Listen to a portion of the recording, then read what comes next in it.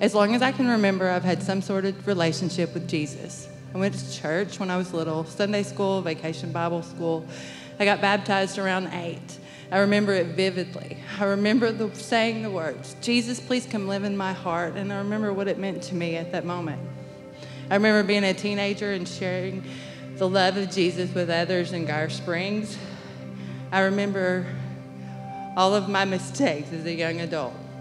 I grew up, had my share of mistakes and problems, and I met a guy. Had a whirlwind courtship, and I married quickly. I was eight months pregnant, and the only reason I married him was I was in love, sure, but more than anything, I was convinced that if I had a child out of wedlock, that was a sin that I couldn't be forgiven for.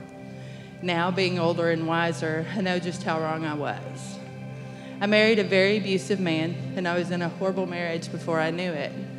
We had four children, and after much trial and error, numerous times of leaving and returning, God used the best possible tool to reach me the Bible. I had had enough of the abuse, and I was given the opportunity to get out, and I had begun reading the Bible. I was searching for some answers in my life, I was searching for direction, among some other things, and it was suggested that I read Proverbs. With it being a lot of do's and don'ts, it seemed like the best place for me to start. I read each and every one of them with deep thought. And then I read Proverbs 19 19, which says, an angry man must pay the penalty. If you rescue him, you will do it again. It honestly felt like as if the hand of God had come through the pages of the Bible and smacked me in the face. I had been searching for answers. I had been praying and prayed to know what I was doing was right. That leaving him, that divorcing him, it was really the right thing to do. And there it was, literally staring me in the face.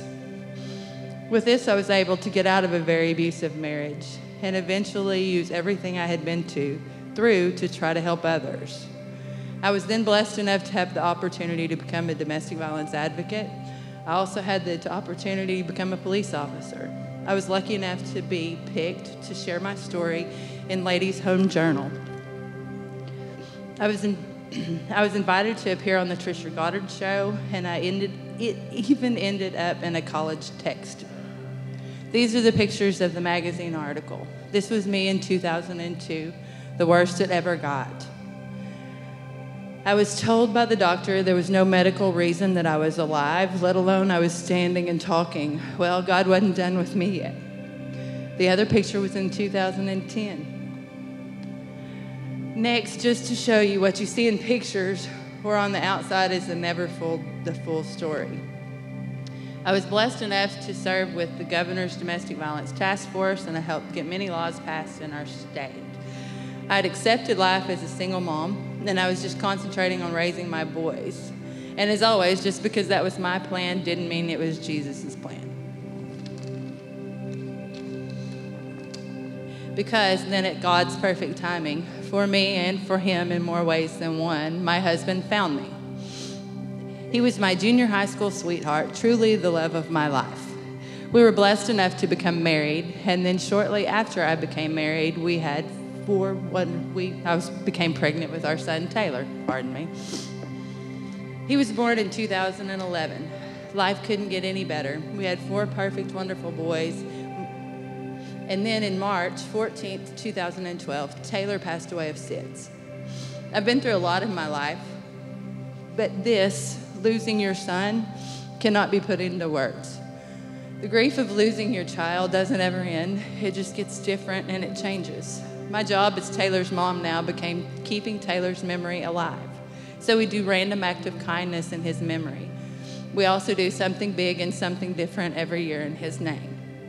About two years after we lost Taylor, I became pregnant again with our daughter Arabelle, who was born in 2014.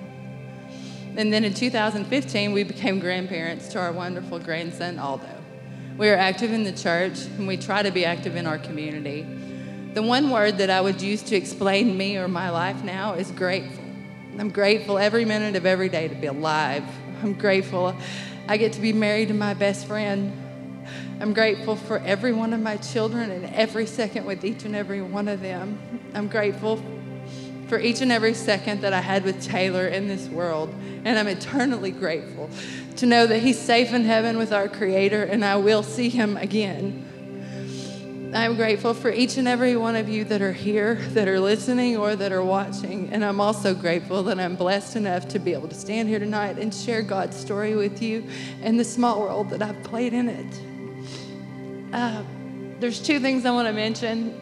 October is Domestic Violence Awareness Month, um, and it's also SIDS Awareness Month. So we couldn't start out the month with a better speaker. Thank y'all so much. I hope you enjoyed it.